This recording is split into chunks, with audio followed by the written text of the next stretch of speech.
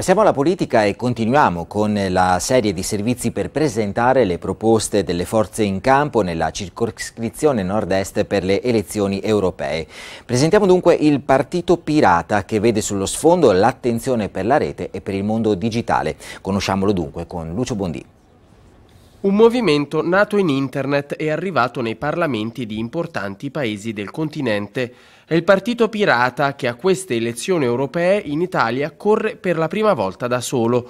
Condivisione, trasparenza e innovazione sono le parole d'ordine del programma, spiega Stefania Calcagno, capolista della circoscrizione nord-est. Il Partito Pirata è l'unico partito che si presenta con un singolo programma in tutta Europa. 11 nazioni, un solo programma condiviso per tutti. Nel programma si parla anche di tutela della privacy, soprattutto online, no alla nuova direttiva sul copyright e difesa dei diritti umani.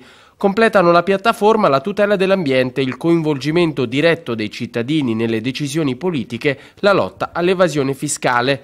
Sullo sfondo l'attenzione per la rete e il mondo digitale, software libero, open data, potenziamento della banda larga, libera circolazione della conoscenza e delle idee.